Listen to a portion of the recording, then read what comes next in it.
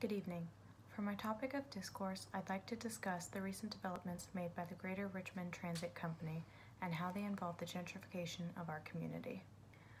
Although many love the new developments made around the city of Richmond, many of these changes have been negatively affecting the lower income areas for quite some time. The GRTC's redevelopment plan includes extending the line into the west end while making cuts in the east end. It should also be noted that the Pulse line was routed to avoid predominantly black neighborhoods such as Churchill and Fulton. Another challenge faced by the residents of Richmond is that with the new redesign of the Pulse and the GRTC, there is more reason to switch bus routes in the process of getting from one destination to another.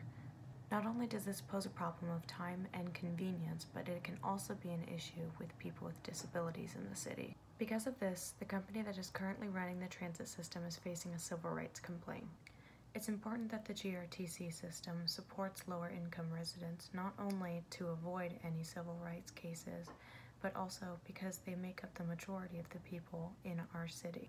It's important that the company takes action sooner rather than later, although it's unlikely that anything will happen anytime soon because they're currently in the process of choosing a new chief executive officer.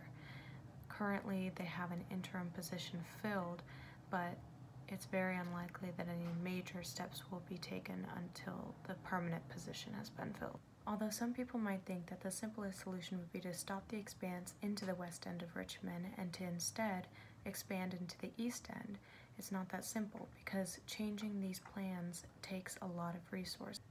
As many of the projects have already gone underway, the simplest solution would be to finish the ones currently in progress and then focus the attention on expanding into the east end, specifically some bus lines that go into Churchill and Fulton.